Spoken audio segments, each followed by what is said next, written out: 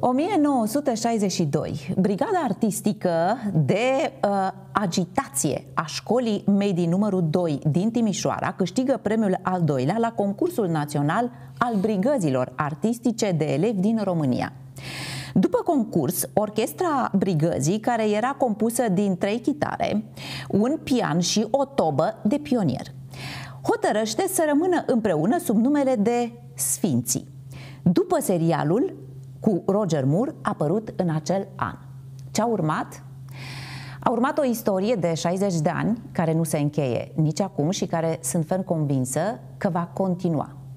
A urmat Phoenix, Har și Jar. Bună ziua, sunt Antoaneta Banu, începe o ediție cu totul și cu totul specială astăzi la Adevărul Live și să știți că sunt în cea mai ingrată situație, trebuie să fac prezentările și nu știu cum să le fac așa încât o să încep în ordine alfabetică să nu se supere nimeni. Domnul Mircea Baniciu, aici în platou. Domnul Nicu Covaci, prin Zoom, din Spania. Și Claudia Nedelcu, producător TVR, cu scuzele de rigoare, dragă Claudia, că noi, doamnele, suntem la final de data aceasta. Deloc, nu, nu, nu. Să fii după Nicu Covaci și Mircea Baniciu e mai mult decât onorant. Vă mulțumesc tuturor că sunteți aici la această ediție pe care ne-am dorit-o foarte mult noi a filmului Phoenix, Har și Har Jar.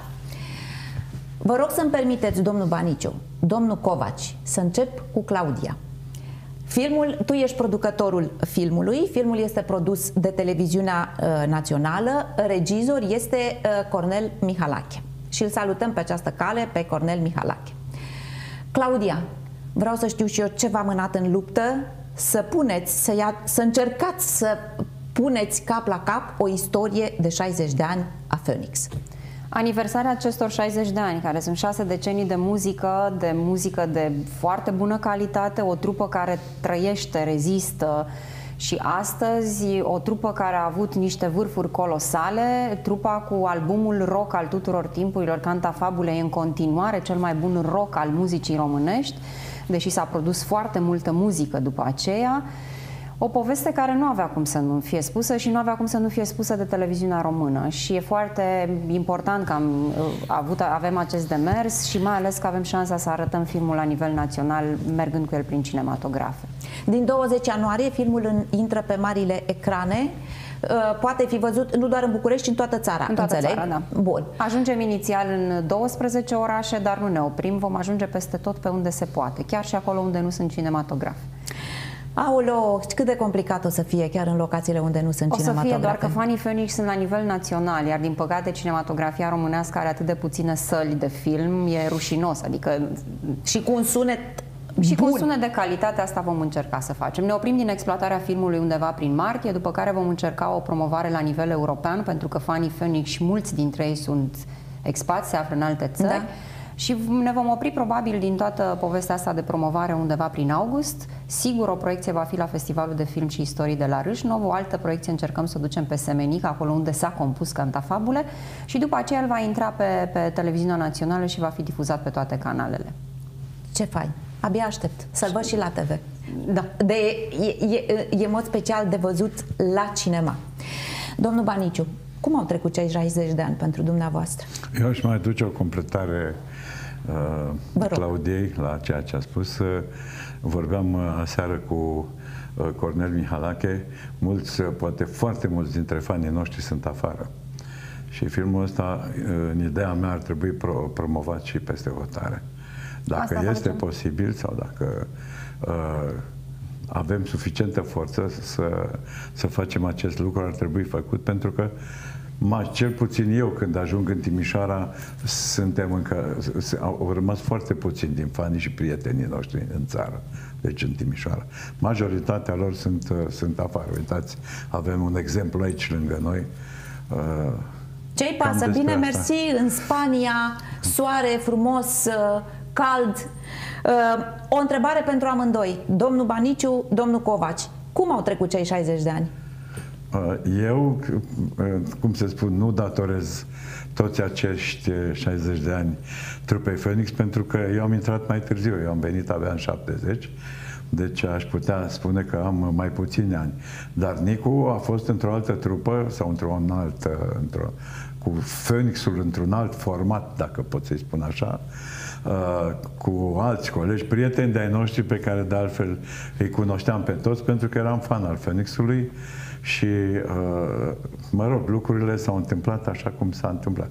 După 70, lucrurile s-au schimbat și am, am ajuns și eu. Deci, uh, pentru mine sunt mai puțini ani, dar oricum foarte, foarte uh, foarte importanți, aș putea spune, pentru că anii mei în Phoenix au fost ca o școală. Domnul Covaci, cum au, trăi, cum, a, cum au trecut cei 60 de ani? Dragii mei, înainte de a-mi da o părere, rugămintea mea, vă rog, tehnic, dați sunetul mai tare, că eu de-abia vă aud și nu pot să intru într-o atmosferă mai, mai clară. Îi, îi, rugăm pe, îi rog pe colegii mei din, din emisie să Bine. ridice cât mai mult sunetul ca să audă domnul Covaci mai bine. Uh, ne auziți acum? Ne auziți? Da, ok. Domnul Covaci, cum au trecut cei 60 de ani? Draga mea, au trecut cu multe bucurii și cu multe necazuri. Adevărul e că totul are un preț. Lumea mă laudă că, vai, Nicule, ce ai rezolvat, tu ce ai realizat, tu ce ai făcut, dar ce prețuri am plătit. Lumea nu știe și mai bine să nu știe. Deci, doar un simplu, un simplu fapt, că m-am întors în țară, ceea ce nu se aștepta nimeni să nu ne mai întoarcem.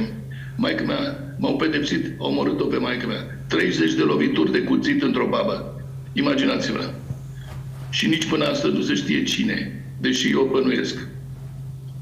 Mă rog, nu, nu vreau să stric atmosfera. E vorba de Phoenix, noi mergem mai departe. Și asta ar trebui și emisiunea de astăzi să, să sprijine și să ajute să înțeleagă oamenii că nu eu sau nu Mircea sau nu Capel sau nu Moni e important. Important este mesajul nostru. Muzica care rămâne și care se ascultă, cu care o asculti și pentru întuneric, stingi lumina și asculti radio, asculti melodia, care îți dă o stare. Arta constă în stări emoționale. Dacă nu-ți creează o stare emoțională, niciun tablou, nicio muzică, o piesă, nu e artă, e zgomot. Claudia, apropo de această continuitate, uh, ne cerem scuze, dar fiind legătura prin uh, Zoom, la un moment dat să se mai uh, aud niște zgomote ciudate. Um, Claudia, apropo de ceea ce spune domnul Covaci de a continua spiritul, da, Phoenix, cum crezi tu că va primi generația Z, cea mai tânără generație acum, acest film? E, există așa un, o, o senzație creată la nivel național cum că tinerii nu cunosc melodiile Phoenix. Așa. Ceea ce este greșit. Am fost la un concert la Corbi de Piatră cu ocazia filmărilor pentru documentarul despre care vorbim și ne-a adunat astăzi aici și erau tineri din generațiile pe care le numim în toate literele alfabetului care știau versurile pe din afară. Phoenixul cu vocea lui Mircea Baniciu este dat în, este în playlisturile tuturor radiourilor din țară.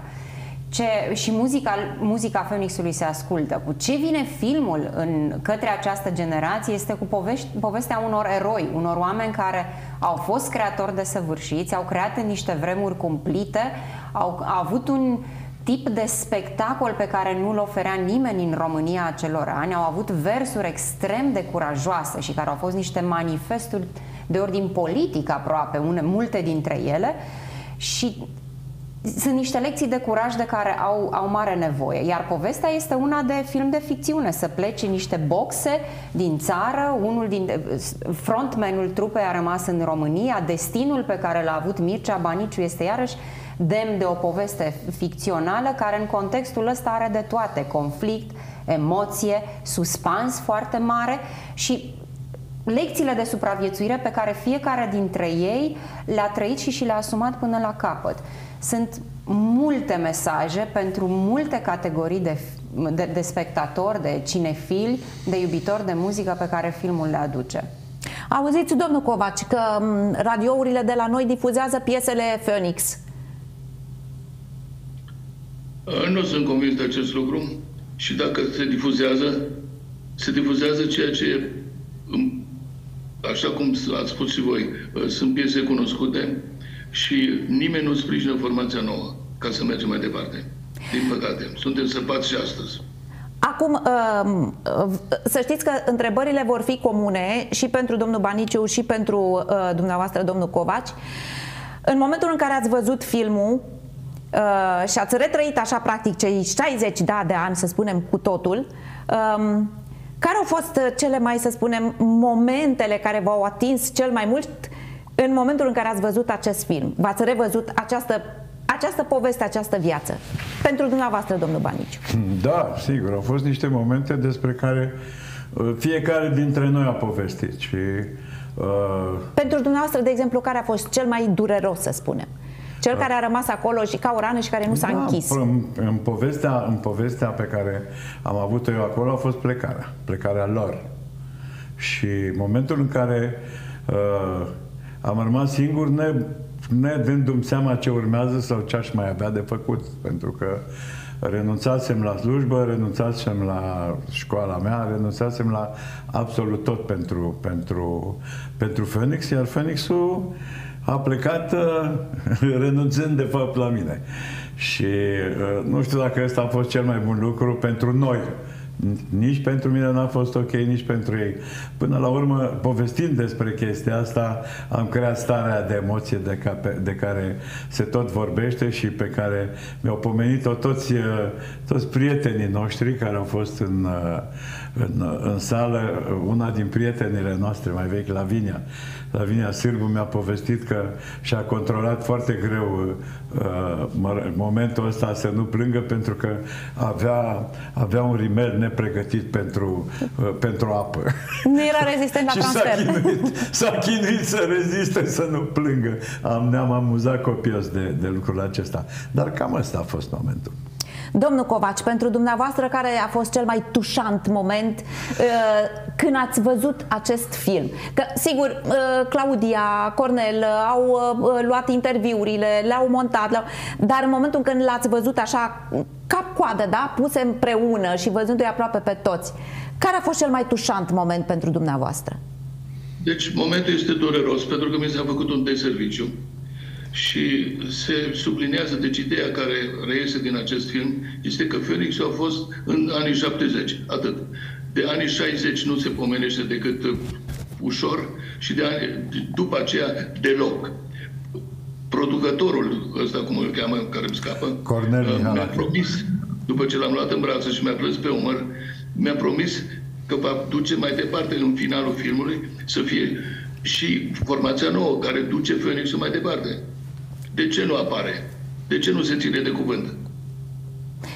Poate Pentru că... că Phoenixul merge mai departe, clar. Asta este clar că Phoenixul va continua, e parte din istoria României, Phoenixul, faceți parte din istoria României, asta Atunci este foarte clar.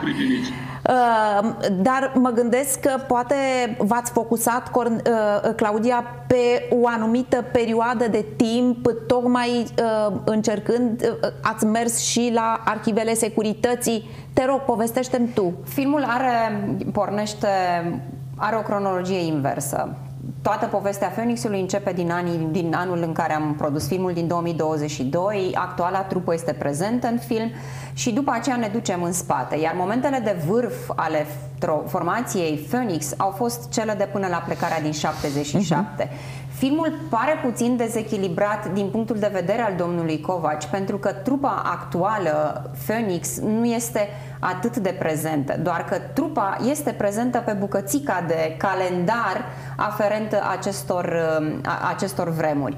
Însă momentele tensionate ale filmului, cele care puteau face un produs cinematografic și nu un reportaj uh-huh. despre o trupă, sunt cele legate de plecare, sunt uh, cele legate de cum au, uh, cum au încercat să se impună pe piața internațională și nu au reușit, cum au apărut primele melodii în cadrul formației Phoenix, cum s-a născut această legendă și cum au reușit să dea speranță unei țări care era practic Dar copleșită de, de, de comunism. Ia un interviu la cei de astăzi? De ce nu s-a luat niciun interviu? Pentru că ăștia duc trupa mai departe. Păi duc trupa mai departe. S-a terminat în anii 70. Duc trupa mai departe cu piesele pe care le-am compus noi în perioada nu anilor noi. 70. Ai compus o piesă.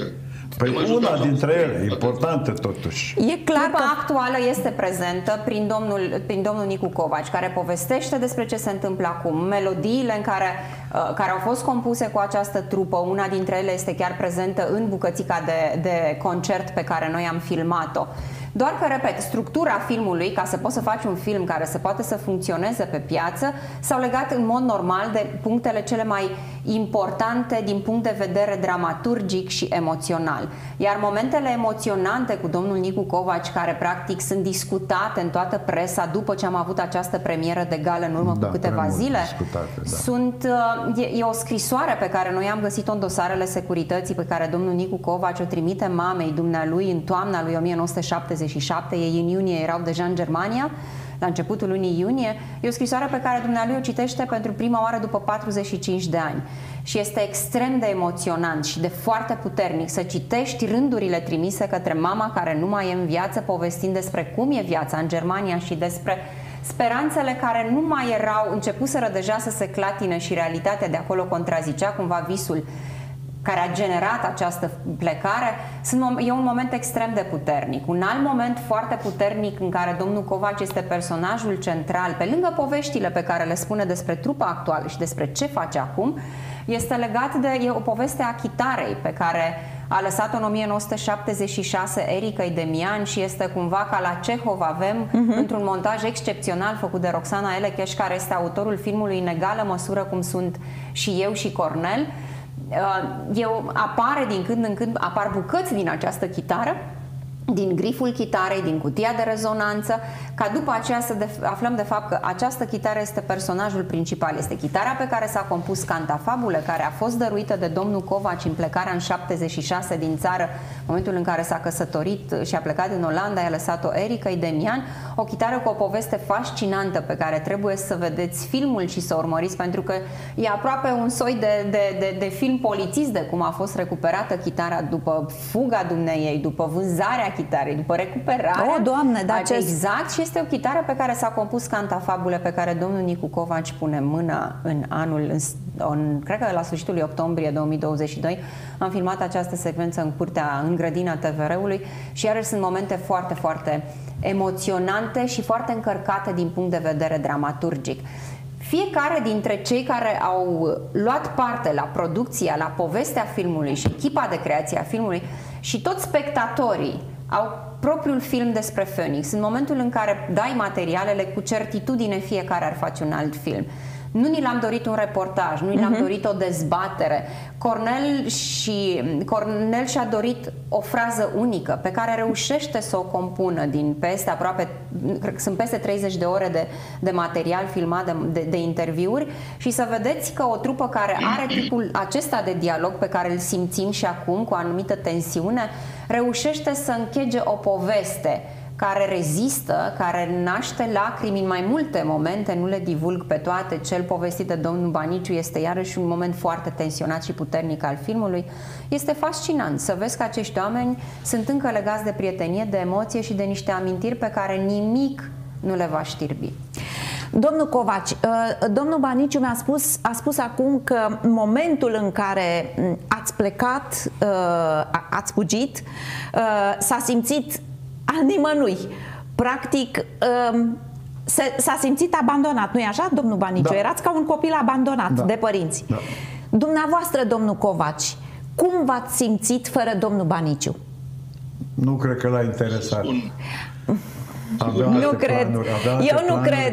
Cred că între, între dumneavoastră, cred că între dumneavoastră Nici este așa o legătură, este așa nu. o legătură puternică. Cred, nu cred. Noi nu cei cred. din afară, Claudia, cred că putem să percepem aceste aceste legături atât de puternice care sunt între ei și care nu se vor rupe niciodată, cu toate frământările și... Ele există și nu e nimic atipic în ce se întâmplă Categoric. Acum, pentru că toate trupele atât de mari, toate trupele care au avut un impact mediatic puternic și în care se creează niște relații exact, atât de adică puternice. Au, au fost conflicte peste tot. Unii au ales să meargă să-și aleagă un terapeut ca să poată să-și repare problemele, nu doar da, da, da inclusiv în trupele mari, adică sunt, sunt exemple concludente, Phoenixul nu a avut ocazie. A fost, a, a fost acea ruptură, probabil gândurile și ideile inițiale nu au făcut ca lucrurile să funcționeze bine pentru deci toată lumea, plec, dar mă ceva și nu mă oamenii și doresc pe scenă indiferent de ce se da? întâmplă acum. Mulțumesc. Domnul Covaci, spuneți-mi cum, cum v-ați simțit fără domnul Baniciu? Faceți o declarație. Sunt ferm convinsă că, că aveți a, a fost o vibrație puternică în dumneavoastră atunci când ați plecat fără el. Cred că s-a bucurat că a scăpat de mine. Stai să, stați să lăsăm și pe domnul și Covaci. Să lăsăm și pe domnul Covaci. Vă rog, domnul Covaci. Mă bucur că sunteți așa împreună aici. Nu vă aud. A crede înseamnă a nu ști. Vă rog să reluați fraza pentru că v-am auzit cu întrerupere. Vă rog din suflet. A crede înseamnă a nu ști. Bun. Și insist eu, ca jurnalist rău și al naibii ce sunt, să scot de la dumneavoastră această declarație. Cum v-ați simțit fără domnul Baniciu? Sincer. Pentru început era derutant, dar fără solist vocal. Și Mircea era un solist evident foarte bun și expresiv, plăcut de public, dar în, în vest am salvat situația chemându-l pe solistul inițial al formației, pe Moni Bordeanu care a venit și a, a, a renunțat la multe lucruri din America ca să vină să ducă Phoenix-ul mai departe, doar că băieții s-au au sperat la alte minuni și fiecare s-a împachetat și m-a lăsat singur. În toți acești ani în care ați fost uh, afară, în care ați fost acolo și practic nu mai aveați nicio conexiune cu România, nu mai aveați cum să aveți o conexiune cu România din cauza sistemului de la acea vreme. Sunt ferm convinsă că vă gândeați la domnul Baniciu. Categoric, categoric. Deci calitatea lui nu este um, cum să spun, nu, nu, nu, nu se poate neglija. Eu nu cred că vă gândeați la el doar din punct de vedere al uh, solistului, uh, al membrului formației, ci al celui care v-a stat alături și ați construit împreună Phoenix-ul. Toți, toți, toți, draga toți. Mea, draga mea, deci așa cum s-a povestit până acum, noi eram frați, că dormeam în același pat, mâncam din aceeași farfurie, ne iubeam, țineam unul la altul, tot. Asta este. Asta până este. În momentul, până în momentul în care și-a făcut fiecare un nume, o firmă, și eu i-am sorit pe piramidă, în vârf. Și când s-au simțit sus, m-au părăsit. Și asta de câteva ore. De câte ori am pornit de la zero cu formația Phoenix? De câte ori? De trei ori. De mai multe ori, dar mă rog. A. În perioada în care ați fost împreună și ați oferit momente de grație și momente de bucurie și ați oferit uh, uh, acel uh, izvor de libertate, oamenii își luau momentele de libertate din muzica dumneavoastră în acea perioadă. Acum sunt într-un interviu de um, V-ați simțit vreodată, pentru că publicul uh, vă va adora, uh, securitatea avea mari probleme cu dumneavoastră. V-ați simțit vreodată stăpânii României? Dumneavoastră, Phoenix-ul. Nu știu, Nicu, dacă poate să răspunde la întrebarea asta. Vă lăsau să purtați plete, vă lăsau să vă îmbrăcați ca în vest uh, o perioadă, uh, vă lăsau să cântați, uh, să schimbați valută, vă, lăsau, vă permiteau multe. De ce credeți că v-au lăsat totuși într-o perioadă în care lucrurile începeau să se strângă rău de tot? Deci, pot să răspund? Vă rog, domnul Covaci. Deci, eram, pe de o parte eram destul de discreți, pe de altă parte, se câștigau bani imensi pe spatele nostru și atunci se uh, mai închidea ochii. Deci la stadioane, vă imaginați că la un stadion se putea face un 500 de mii de lei, de care se dusese vorba Covaci atât de modest, e numai 10% din încasării, care împărțeam la băieți. Dar și aia, deci acel moment era important pentru că erau mulți bani pentru toți.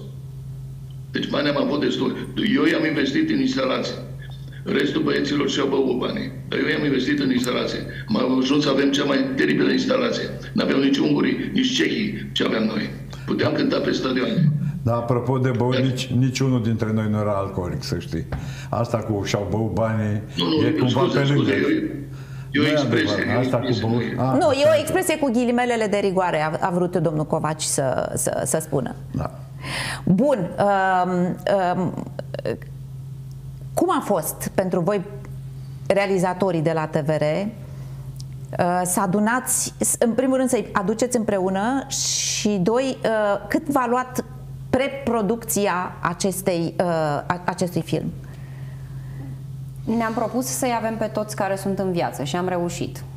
Deși Claudiu Rotaru, cel care a dat numele formației uh, Phoenix și Sfinx este undeva în Canada, cel care i-a ajutat să fugă, Alexander Polgar, este în Thailanda. Uh, Thailanda. Pe Erica Ioja Demian, Cornel a reușit să exploateze un moment foarte prielnic, n-au venit în țară să-și ridice câteva premii de la UCIN și i-am avut în, uh, i-am avut în studio live. Ioji Capel în Germania. Ioji Capel în Germania și l-am avut totuși aici, dar pe Victor Cârcu, de exemplu, l-am adus, și el în uh, a fost, uh, e în Germania și l-am avut pe Zoom. Am încercat să-i aducem pe toți cei care sunt în viață, nu a fost, n-a fost ușor, adică toată bucata asta de adunat formația fără ajutorul domnului Nicu Covaci și fără ajutorul domnului Ioji Capel, care au intervenit și către cei care nu mai vroiau mm-hmm. să mhm. audă de poveste sau nu mai aveam nicio legătură cu muzica prin activitățile pe care și le derulează acum, am reușit să-i aducem în această poveste cu ajutorul domnului Capel și domnului Covaci. A fost foarte scurtă perioada de producție, că, că e, nu cred că există film documentar în România care să se fi făcut într-o perioadă mai scurtă de timp decât aceasta pe care o avem noi.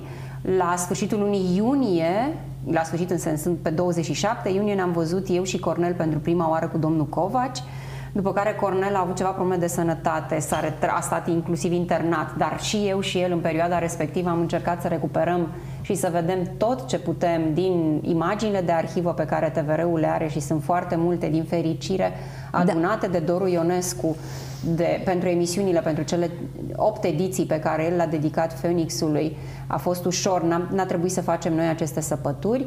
Am citit tot ce a publicat editura integral, care după aceea a devenit partenerul uh, proiectului și am scos o carte care se numește Phoenix Harjar, în care sunt în formă integrală interviurile pe care noi le-am luat uh, a, o parte din interviuri, 22 cred că sunt în carte din cele peste 40 de interviuri pe care le avem pentru film. A fost intens, dar a fost plin de emoții și am avut și dosarele de la CNSAS, ăsta este singurul, adică primul lucru nou pe care l-am adus în film a fost apropierea de aceste dosare de la CNSAS.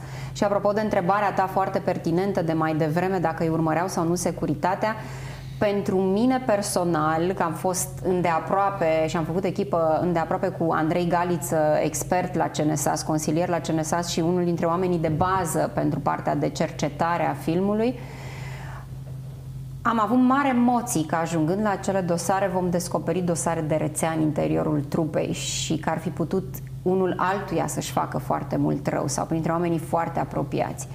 Și am răsuflat ușurați că nici unul nu și-a făcut rău. A fost un grup atât de compact și de da. puternic, care aveau ca unic obiectiv să devină o trupă cunoscută, să aibă show-uri excepționale, să aibă un look care să-i diferențieze de masele gri de oameni din acea perioadă. Și într-o, într-un comunism uh, dur, greu, Atroce, sufocant. ce a fost sinistru da. și după aceea să poată să creeze acele concerte care au fost un, de asta, repet, a fost o speranță reală pentru toți oamenii că se poate și așa. Sigur, sigur. A avut șansa această trupă să se nască în Timișoara. O poveste, nu e foarte mult pus accentul pe povestea asta, dar se simte în film că cred că o astfel de trupă nu se putea naște la București. Erau mult mai aproape de vest, da. aveau acces la muzică. Într-un fel profetic, așa putem spune, da? Adică exact, s-au născut, da. S-au născut în, în, în Timișoara, potrivit. unde în 89 da, doar că erau contemporani și cu alți tineri, însă modul în care au înțeles să facă această muzică a fost unul incredibil. Și au pornit la început făcând ca toată lumea cântând ce, trup, trupele și melodiile care erau celebre în acea perioadă, dar după aceea au avut lângă ei poeți, cum poeți, nu doar textieri, Victor Cârcu și, Cârcu și Paul Șuvăgău, din păcate dumnealui nu mai trăiește, care au compus niște versuri reale și după aceea au reușit să întoarcă o, o directivă dată de sistem, de acum încolo cântați folclor, au reușit să o întoarcă și să creeze un curent incredibil, acest etnorock, care definește cumva Spiritul Phoenix. Și pentru că ne apropiem de, de final, deși aș sta cu dumneavoastră aici mult, dar vă invit la alte ediții să discutăm și despre muzică și despre Phoenix și despre film. Claudia, te invit cu mare drag aici pentru că voi la TVR faceți niște lucruri formidabile uh, din punctul acesta de vedere, din multe puncte de vedere, dar și aceste filme pe care le faceți sunt uh, colosale. Uh, vreau să vă întreb așa. Aveți o experiență de viață în spate, pe fiecare l-a marcat această experiență, ați crescut și v-ați dezvoltat fiecare în stil personal personal. Întrebarea însă este comună, domnul Baniciu, domnul Covaci. Spuneți-mi cum definiți libertatea?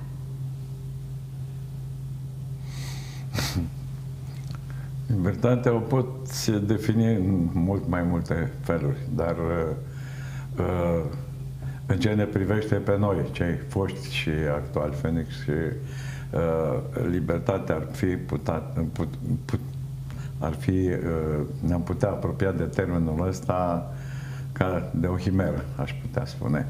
Uh, n-am fost uh, și ei, ajungând acolo, au fugit pentru ideea de a fi liberi. Noi am rămas aici și nu foarte liberi. Deci libertatea poate fi înțeleasă în foarte, foarte multe feluri și sunt convins că așa și este. Poți să-ți permiți să fii liber atunci când îți dorești foarte, foarte mult acest lucru și reușești să fii liber numai gândindu-te la, la tine, în primul rând și după aceea la toți ceilalți. Domnul Covaci, finalul va aparține. Mircea spune un lucru bun, dar nu l-a terminat. Libertatea mea se mărginește la libertatea ta. Dacă ținem cont de acest lucru, se face pace pe pământ. Din păcate, nu se ține cont de acest lucru. Vă mulțumesc mult de tot pentru această ediție. Știu că veniți în țară. Vă aștept cu mare drag, domnul Covaci, domnul Baniciu. Vă aștept cu mare drag. Cu mare Claudia, drag, noutăți. Aici suntem la Adevărul Live Mulțumim. să construim împreună. Suntem două entități de presă care avem, putem să oferim oamenilor informația curată, autentică. Vă mulțumesc. Vă mulțumesc și vouă pentru încă o ediție din uh, Adevărul Live din 20 ianuarie pe marile ecrane din România. Vă invit să vedeți și vă, chiar vă rog să mergeți să vedeți Phoenix, Har, Jar, un film uh, care cred că multora o să vă meargă la suflet, iar cei care sunteți la a doua, a treia, Ena Tinerețe, o să vă placă să vă întoarceți puțin în timp. Sunt Antoaneta Banu, ne revedem curând, toate cele bune!